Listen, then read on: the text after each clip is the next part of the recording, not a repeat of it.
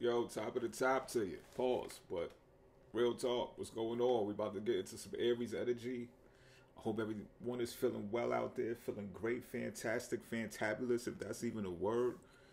And um, what am I looking for? I'm looking for my ashtray. Well, here go one of them. This one's gonna have to do for right now. All right. I made cuts, but I don't curse. You heard? And with that being said, let's get these cards read. Bars.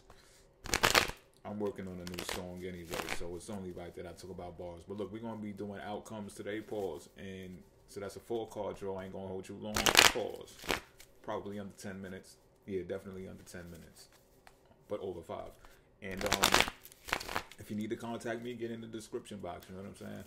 All of the information will be there once you click the link inside of there. Pause. That's crazy. Pause. But for the Aries energy, cross watches, everybody included. Let's get to it.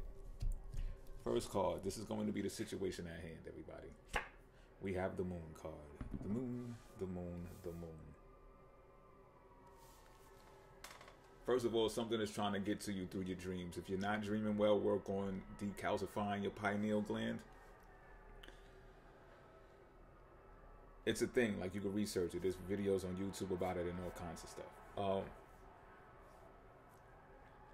but um, something is trying to be communicated to you through your dreams. And I know I've heard that some people don't even dream anymore. I haven't ever dreamed before.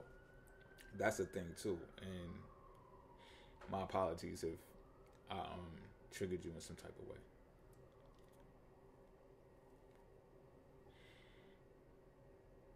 The reason being is because there's some type of vagueness in your life right now, and it's only, you know, there's only but so much is being shown to you. And I get that it's because should more be shown to you, you'll be overwhelmed. Not over okay, hold on. Let me bring that back because I also get the I also get the feeling that you're overwhelmed anyway. Just saying. And if you was to get all of this information at one time, then you would be really overwhelmed because you would think that and I mean the information like in the 3D, in the 3D realm. If you were to get all your desires or all of the information that you were looking for, you would be excessively overwhelmed. But because you're getting little bits and pieces of it, there is a level of anxiety there. There's some type of fear there, and it's because you don't know. All right, and that's natural. That's understandable. But at the same time, what you can also know is that it's for a reason. When you get pieced off information, it's like spoon fed information, it's for a reason. Not everybody is able to process information in the 3D realm at a rate that supports what they got going on in the 3D realm. That's why sleep is important. That's why it's important to get dreams. And not only to dream, but to remember what happens in those dreams. Because that's where the information is going to come from. And you may say, well, that's not fair. That's also the point.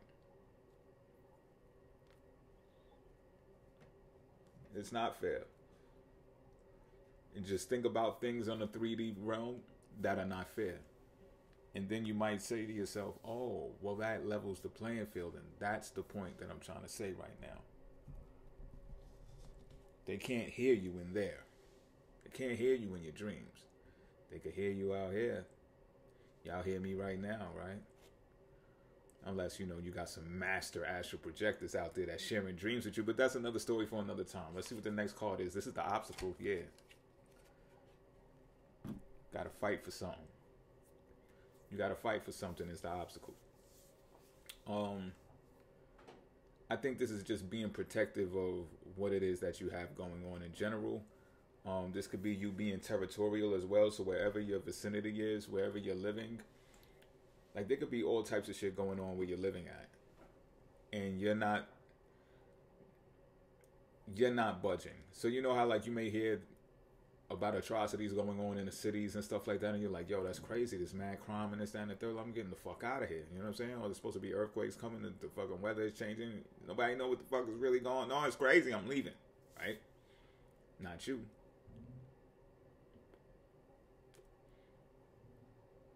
And while everybody is while everybody is scattering, right? Or at least panicking, this to me doesn't look like someone who's swinging out of control. This is someone who just has their wand up. Pause. And they're just like, yo, I see all of y'all, or I see all of this happening around me, and I'm just saying, yo, I'm holding my shit down. You know what I'm saying? Don't cross this line. Y'all can even speak to me from right there. But don't think y'all gonna get a fast one on me. Don't think I'm gonna be intimidated. Don't think I'm gonna be just uprooted from where I done grew up and built my childhood or my memories. Or not even that. Maybe it's a new place that you moved to and you still like, yo, I just got here. Fuck is y'all talking about? Or I've been here for ten years. What is y'all talking about? Like I done built a home for myself. Like I ain't going nowhere. Yeah, shit it look like it's crumbling all over the place and that, but I ain't going nowhere. Y'all panicking and doing it. Y'all, that shit is not gonna be contagious around me.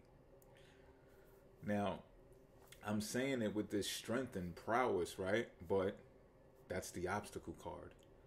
So we got to take that and we got to flip that and we got to say, well, damn, is standing my ground really worth it? Because it seems, obviously, it seems like it's an obstacle to challenge the opposing side and stand my ground and this, that, and the third. It's like, why? Like, how much help do you really have if the shit does go down? You know what I'm saying? Let's draw the um, action recommended to take for the Aries energy. That's deep. The Death card. Another major arcana out here. Aries, we setting it off deep, yo. So the route that's act actually being asked to take is a spiritual one.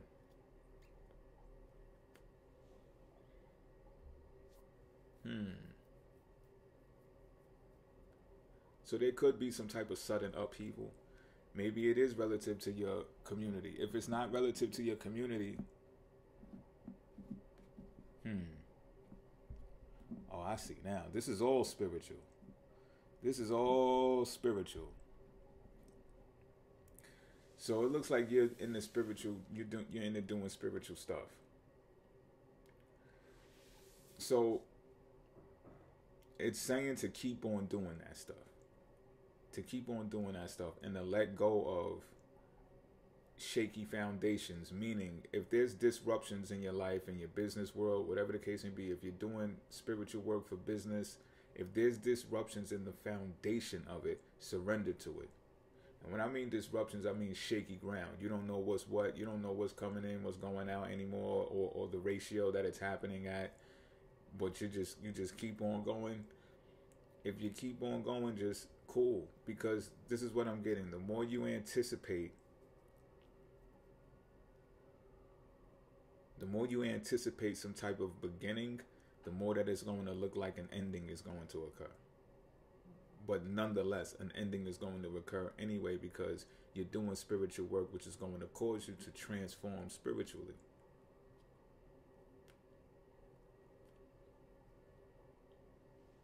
what's the outcome if you take this action recommended? The Hangman. It's three major arcanas out here. This is telling me that you're going to attract. Okay, this is a spiritual worker. This read is for spiritual workers. And what's going to happen when you ignore or just stop trying to be combative is you're going to transform spiritually because of that and the audience that you attract to you the community that you attract to you or that you intertwined with they're going to come to you feeling trapped they're going to need and want answers they're going to feel like they're limiting themselves and if they don't identify that that is going to be most of the advice that you give to them that they're limiting themselves because they're looking outside of themselves for something that is truly within. That's all I got for now. Until next time.